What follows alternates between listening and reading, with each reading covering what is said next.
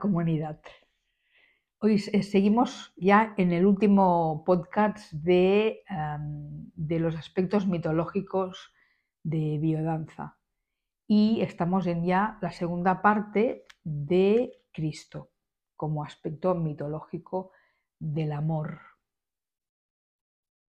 y la dulzura, como decía Rolando Toro cuando hacía referencia a Cristo. Entonces, siendo ya el último vídeo de esta, de esta saga, por decirlo de alguna manera, voy a repasar algunas de las cosas que Rolando dice cuando habla de los mitos, de los mitos de, que, que, Rolando usa como teoría de biodanza, que tienen que ver con, con la muerte y la resurrección, o sea, o el renacimiento.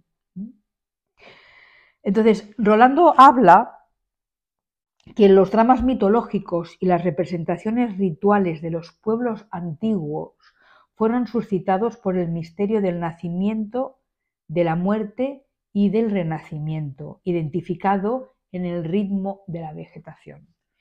Y de ahí que las culturas agrícolas crearon la religión cósmica, la de los ciclos en, el que, en la que el misterio central de la es la renovación periódica del mundo. Y de ahí el nacimiento, que tiene que ver con, con la semilla que nace, el crecimiento, cómo evoluciona, la muerte, cómo vuelve a la tierra para eh, volver a renacer. El fruto vuelve a caer y de ahí vuelve a resurgir siendo aquello que es de en una forma diferente.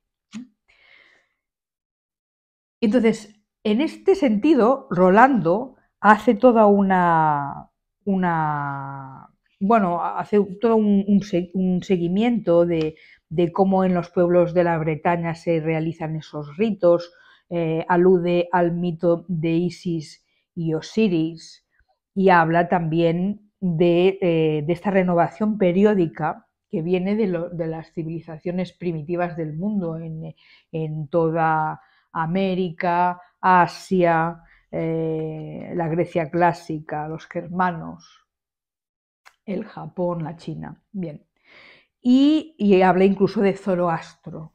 Entonces, cuando él hace referencia al mito, hemos repasado ya durante estos días de atrás, hemos repasado los mitos de Demeter, Pitágoras, Dionisio y Orfeo, pues, eh, y, nos, y nos quedaba este, el de Cristo, que es un mito que Rolando lo nombra como aspecto mitológico que forma parte del cuerpo teórico de biodanza, aún así apenas es eh, nombrado, aunque su influencia perdura. Entonces, vamos a repasar un poquito lo que dice Rolando Toro de Cristo, que ya lo hablamos la semana pasada, pero hoy vamos a hablar de, algún otro aspecto en el que dice que, que Cristo es el arquetipo de la dulzura, de la dulzura, unida a la fuerza de la fe. Entonces, Luego Rolando habla explícitamente de que no hablemos aquí de lo que han hecho los sacerdotes con la doctrina de Cristo y del fracaso del amor en el mundo. Sin embargo, la propuesta del amor al prójimo representó en su tiempo la más grande revolución de toda la historia de la humanidad. El, modelo sacrificial, o sea, que, que nos habla la Mm, la religión judeocristiana de que Cristo sacrificó su vida por el pecado del ser humano, esto no tiene cabida, no tiene cabida. Este modelo de sacrificio no tiene cabida en biodanza, ya que Cristo era dulce y quería la salvación espiritual de la humanidad. Entonces esto más o menos es lo que dice. Entonces hace alusión a que a, uno de los evangelios apócrifos, el de Juan, habla explícitamente que Cristo danza y canta en una ronda. Por lo tanto, este mito de, del sacrificio por el pecado original del hombre, en realidad en biodanza no tiene cabida. Y es lógico que no tenga cabida porque es una tendencia judeocristiana que se aleja del el origen de la, del mensaje crístico, entendiendo que eh, los evangelios, incluso la Biblia, ha sido interpretada a conveniencia de, bueno, pues, o sea, de, de los ejércitos ganadores o de los supuestos ganadores o de la intención de los ganadores. Eh, ¿De los ganadores de qué? bueno, pues ahí está el tema, ¿no? El tema está en, en, en mantener una batalla constante entre aquello que es del alma y aquello, o sea, o del espíritu, mejor dicho, y aquel del cielo o de la tierra, que sería eh, mm, el humus, el humano. Entonces, esta lucha constante, que es el, el principio en el que se basa el judaísmo, a pesar de que hablen de un único Dios, pero ese único Dios es, es vengativo porque si no se hace lo que él desea que sea por la ley, por su ley divina, pues entonces hace realmente atrocidades y barbaridades. Entonces, este no es el ejemplo de, de Cristo, del que también bebe la biodanza. Entonces, explícitamente, Rolando lo nombra así. Entonces, dice, la biodanza se separa de la línea judeocristiana con su severa represión del placer y con su vocación de vida eterna en otro mundo. No solo eso, no solo eso, sino que eh, esta, esta represión del placer no era lo que el Cristo, Jesús el Cristo, venía a, dejar como huella a la humanidad. Eh, entonces, ya la semana pasada hablamos de sus, de sus iniciaciones en la Mesopotamia, en el Tíbet, los Himalayas, e, e, en incluso en el, en, el, en, el, en el mundo celta, en los druidas. O sea que perteneciente a la, a la tribu de los esenios, sabiendo que dentro de los esenios había ya una, una división como todo, porque en la vida la vida se genera a partir de la división. La división de la mitosis, la meiosis, una única célula dividida en dedos y a, y a partir de ahí es cuando se manifiesta lo, lo que está latente. Entonces, todo se divide. Entonces, en los esenios, que era la tribu en la que pertenecía, bueno, la tribu, o sea, como la, secta, dentro de una corriente hebrea, de la religión hebrea, de sus, de sus ritos de sangre eh, y su cultura también, pues hay dos franjas que son los esenios celotes, que son los guerreros, y los esenios terapeutas, que son los que vivían en el Monte Carmelo y los, los guerreros en Qumran.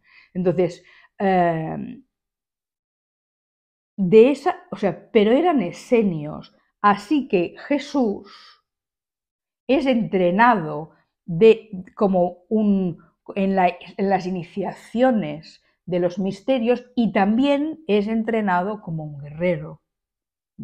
Entonces, y esto podemos referenciarlo en la sangre, la sangre roja y la sangre azul. Nosotros somos seres de sangre roja y de sangre azul, además de agua. Entonces, no estamos hablando de una competencia de ni siquiera de los elementos, si podríamos decir que es fuego agua. No.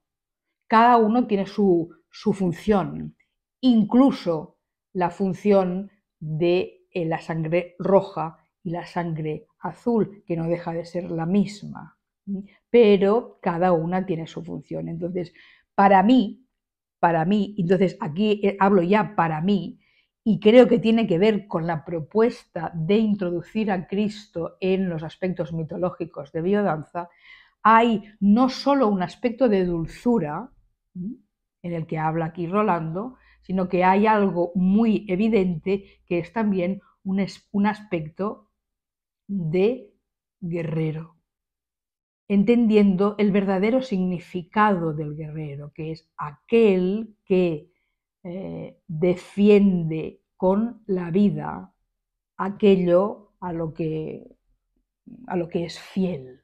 Entonces, ¿a qué, qué es a lo que es fiel? El Jesús y la propuesta de Jesús. Al amor. Al amor. Entonces, pero el amor no es solo dulzura. El amor no es solo dulzura, es buena cara, es la, mejilla 70 veces 7 y todo esto. El amor es, guerra, también es lucha, porque no hemos de olvidar que eh, en, cuando Jesús entra en el templo eh, donde están todos los banqueros negociando, negociando, él va allí con todos sus apóstoles que son celotes y llevan espadas y cuchillos y dagas él no, porque él no es guerrero, aunque está entrenado, va allí y lo destroza todo. En biodanza tenemos el tigre. Si bien tenemos el hipopótamo, que es el placer, el gusto, eh, el, o sea, el, complacerse en el agua, en, el agua de, la vida, de la vida, tenemos el fuego, que el fuego no es solo ah, una pasión em, caliente, es también una pasión fría, la de la estrategia, la de la presencia, que tenemos la danza del tigre y sus preparaciones para la danza del tigre, que nos sitúan en un lugar donde vamos a defender aquello que consideramos que es justo y adecuado vamos a defenderlo con la muerte. Por lo tanto, hay un tigre, una pasión, una, un, temor incluso, pero cargado de coraje, ¿Qué pasa por el corazón donde hay esas dos fuerzas que no son opuestas, sino que son armónicamente opuestas, el frío y el calor, el sol y la luna, que están eh, defendiendo lo que consideramos que hay que defender con la vida hasta morir si es necesario. Entonces se trasciende la muerte. Entonces, este es el verdadero uh, mensaje de, de Jesús cuando nos está hablando en los aspectos mitológicos que se referencian en la biodanza según mi criterio y según mis investigaciones. Ya que habla poco, ¿eh? Rolando, solo hay una página y, poquito más, como ya dije la semana pasada. Entonces, no podemos olvidar la espada. Entonces, es verdad que en el momento en el de la traición, que está escenificada en el Monte de los Olivos, cuando Judas Iscariote le besa a Jesús para identificarle de cuál es el Mesías, el que le llamaban Mesías, que él nunca dijo que era el Mesías, sino que él dijo que él era el Hijo de Dios, pero no el único, sino que había, venía a, a compartir un mensaje para que quedara grabado en, la memoria de la Tierra, en el ADN de la Tierra, que es el mismo ADN que nos sostiene a todos, que es posible trascender la muerte, o sea, el miedo a morir, que eso es sencillamente una ilusión. No murió para salvar el pecado de los hombres por el pecado original del cual arrastramos y arrastramos. o sea, no hay pecado. O sea, el tema es que no hay pecado. El tema es que hay experiencias de vida. ¿Para qué? Porque la vida es así. O sea, son ciclos. La vida es cielo y la vida es tierra. Entonces, la vida del cielo, dijéramos, o sea, lo, que representa el cielo es un orden que es inmutable, que son las leyes de la vida. Están escritas en las tablas de Esmeralda, en, todas las culturas de las, civilizaciones de, de la Tierra en todos los tiempos. O sea, hay unas leyes inmutables del cielo, hay unas leyes que pertenecen a la tierra, que son las leyes orgánicas, las de la ciclicidad, la de que todo es continuo y todo sigue, todo está en proceso. Y luego está en medio, está el hombre, que es aquel que conecta cielo con tierra y que es que si bien su origen es animal, o sea, es del humus de la tierra, puede trascenderse a sí mismo para conectar con esa parte que es, que es divina, que, forma, que es su espíritu, o sea, el espíritu, lo que sería inmutable de alguna manera, lo que pertenece al cielo. Entonces, es, y, aquí en el medio, y esto lo explica muy bien el I Ching, en el medio donde eh, cielo, tierra y en el medio está el ser humano, ¿qué tiene el ser humano? Libre albedrío, emocionalidad, cambio constante, casualidad. Todo cambia. Y es aquí la prueba. ¿Dónde estamos? ¿En el cielo o estamos en la tierra? Entonces, ¿qué es lo que nos traiciona la emocionalidad? Entonces, no se trata de no ser emocionales, se trata de ser equilibrados. Entonces, ¿y dónde está el equilibrio? No está en la supresión del placer ni en la supresión de la alegría, ni siquiera en la supresión de la agresividad, ni siquiera en la supresión de la violencia del guerrero, ni siquiera en la violencia del guerrero. ¿Por qué? Porque así como en biodanza tenemos el tigre, el tigre es el símbolo del guerrero y de la guerrera. Entonces, ¿qué es ser guerrero y ser guerrera? Bueno, aquí hay toda una cultura que durante muchos siglos se nos ha inculcado un concepto erróneo, equivocado, confuso de muchas palabras que tienen que ver con una cultura muy concreta. Entonces, se trata de desprogramar toda esa información y de alguna manera volver al origen. Pero ¿cuál es el origen? Entonces, el origen es el de las estrellas, como decía Rolando, voy a volver a las estrellas, regreso a las estrellas cuando estaba en un proceso de muerte, regreso a las estrellas. Todos regresamos a las estrellas y todos regresamos a la Tierra. Por tanto, para seguir los procesos de cada ah, aspecto que nos conforma. Entonces, hay uno de los aspectos que nos conforma, que es el de, si bien hablamos mucho de la unidad, que es muy interesante, por supuesto, hay algo de lo que, de los, nos olvidamos de resignificar, que es la dualidad, la división unicelular, la división. O sea, somos uno y somos dos y somos dos. Y es aquí, en el ser dos, donde están los conflictos. ¿Por, qué? Por la emocionalidad. Y esa emocionalidad está, está adiestrada por la cultura. Depende de la cultura que nos rija, hay cosas que son buenas y hay cosas que son malas. Hay cosas que en, en una cultura nos dicen que esa es lo correcto y hay cosas que eso, que en una cultura nos dicen que es correcto, otra, en la otra nos dicen que eso es una, una aberración. Entonces, la cultura es la que nos trastoca.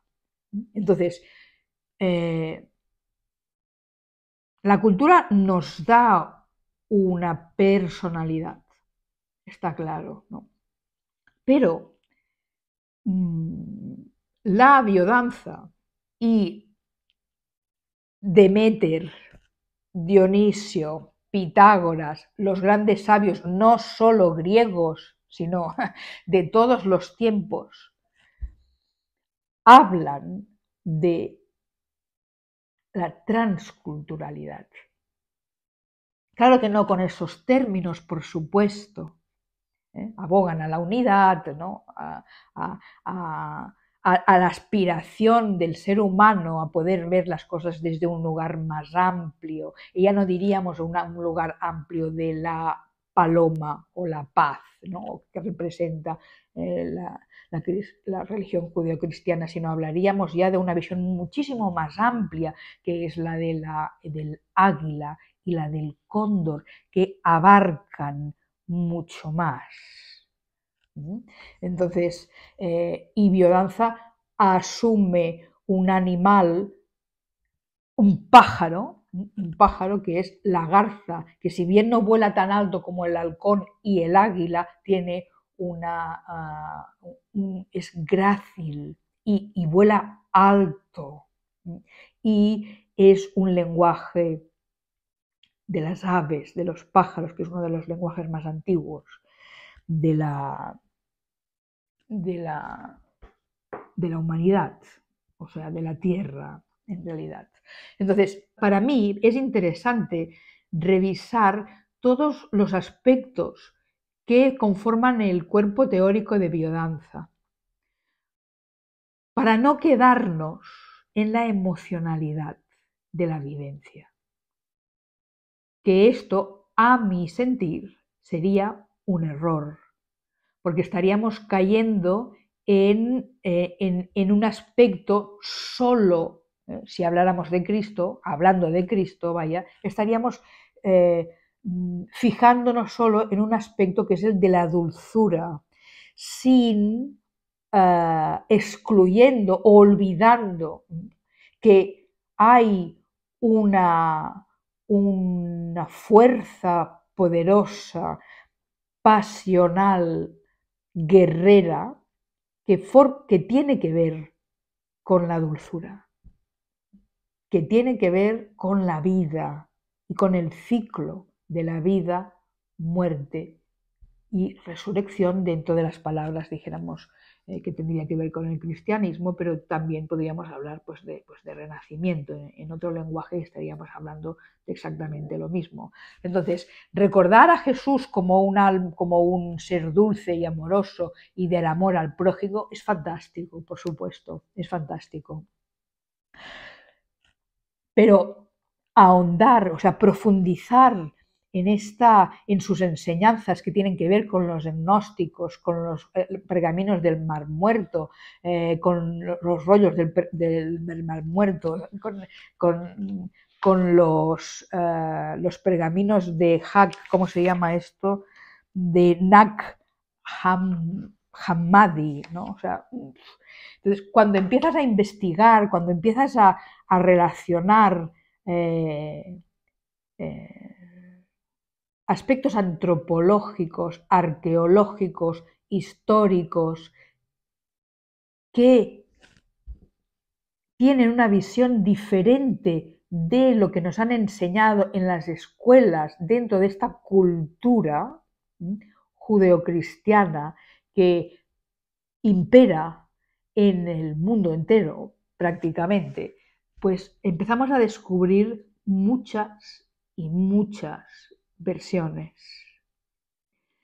eh, que ocultan mm, verdades que son irrefutables, como por ejemplo que eh, Jesús, Jesús, el Cristo, el de la conciencia cristalina, el de la conciencia cristal, el que había eh, transmutado el fuego caliente en fuego frío de tal manera que se había convertido en un cristal, por tanto podía, eh, desde su luz interior, podía iluminar, ¿eh? o sea, hay que entender todas, todas, todas las, los, enigmas, los enigmas que se, que, se, que quedan encriptados para descubrirlos.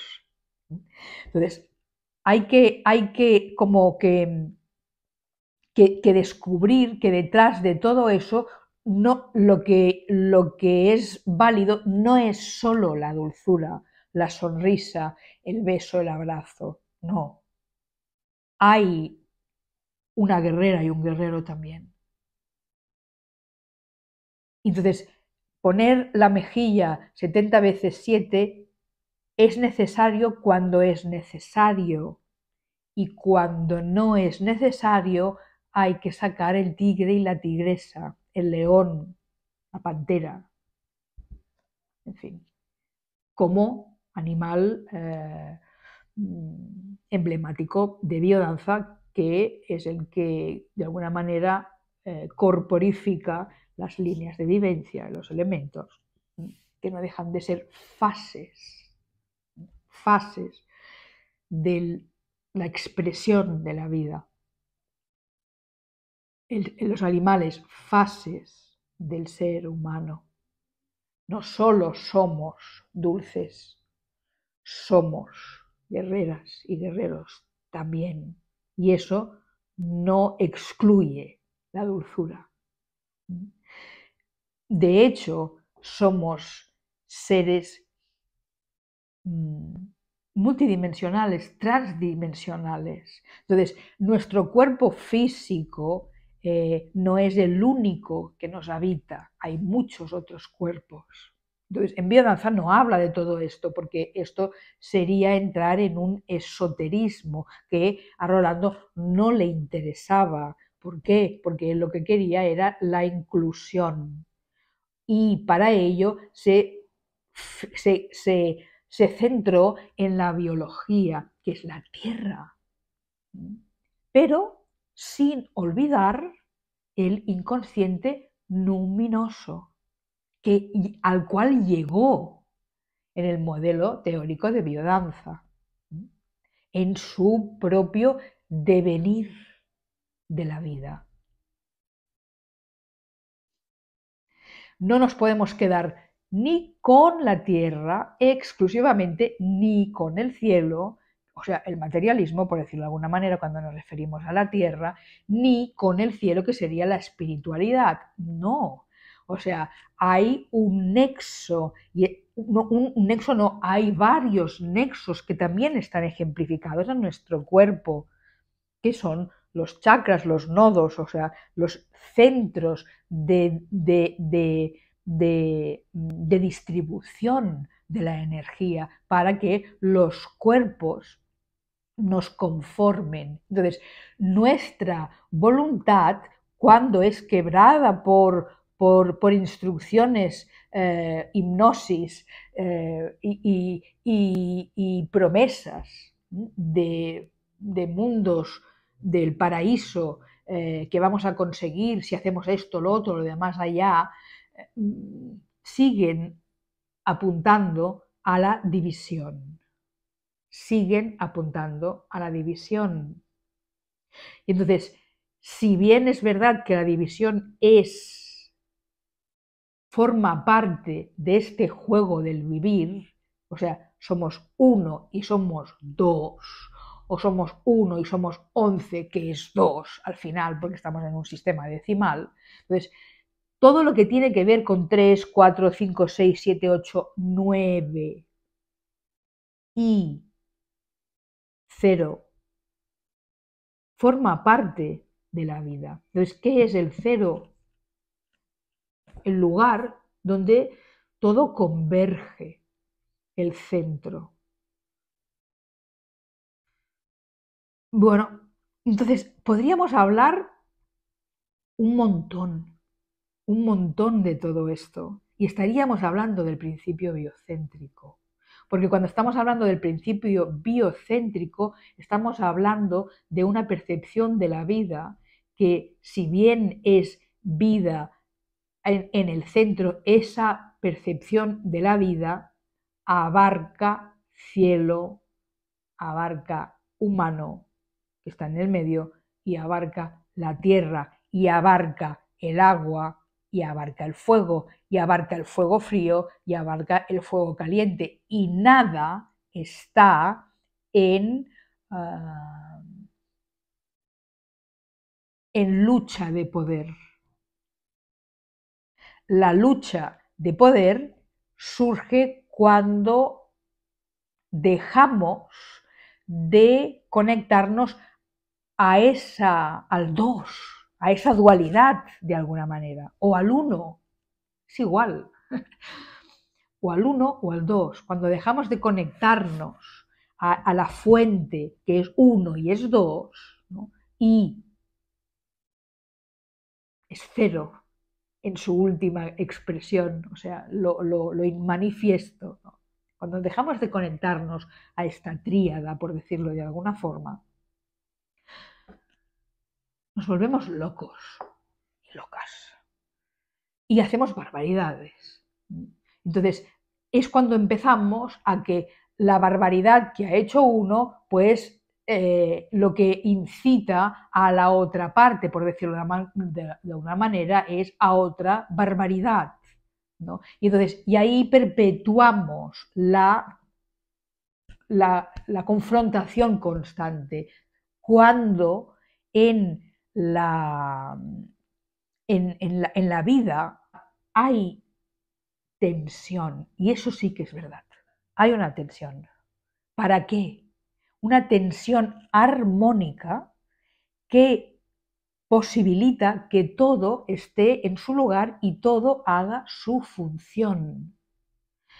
Cuando entra la emocionalidad, y el libre albedrío, que es, que, es aquello de lo que nosotros estamos dotados porque mm, nuestra naturaleza es así, no es, no es solo instintiva y animal, sino que es también, y no solo es espiritual, sino que es también emocional, y en esa emocionalidad somos libres de actuar. Y en esa libertad de actuar es donde, o, que podríamos decir, el alma, emocionalidad, mente-alma, que es, es, donde allí eh, eh, empieza el juego.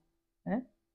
Hago una cosa, hago otra, entonces es, es, ir encontrando el equilibrio. ¿Y el equilibrio de qué? De la onda sinusoidal, que no es una onda si la vemos solo en, en un plano, eso es una onda, es, es son dos fuerzas en las que una va así y la otra va así. y es así donde se crean las espirales. No estamos hablando ya de espirales evolutivas, estamos hablando de espirales conectivas, de espirales de procesos. Por lo tanto, ya ni tan solo estamos hablando de evolución, estamos hablando de procesos, de procesos de expresión cada vez más complejos que tienen que ver con la adaptabilidad. Y esa adaptabilidad pasa por eh, periodos de, de guerra y de paz a la vez. Entonces, ¿cuál es el equilibrio? Pues el equilibrio es ese. El equilibrio es la guerra y la paz al mismo tiempo. Entonces, ¿dónde está el secreto? o sea, está dentro. Está dentro. Nosotros lo sabemos. Tenemos la sangre roja, la sangre azul. Tenemos frío, tenemos calor, tenemos los elementos. No son todos los que no se les ocurran, no. Son los cinco elementos. O sea, está, no es que esté programado, sino que hay, como decía antes, hay una ley inmutable, que podríamos decir que es la, ley eh, del sistema decimal del Deu, en catalán Deu, de Dios, 10, o sea, 0, del 0 al 9. Y eso es una ley inmutable en nuestro universo. ¿Quién sabe si hay otros? No lo sé, no tengo ni idea, ¿no?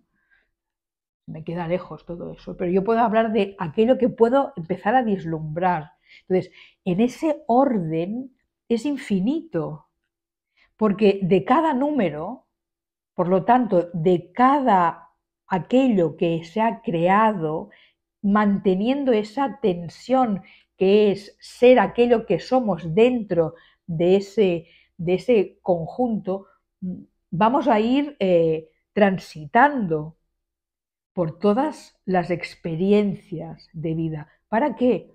Para experimentar el qué.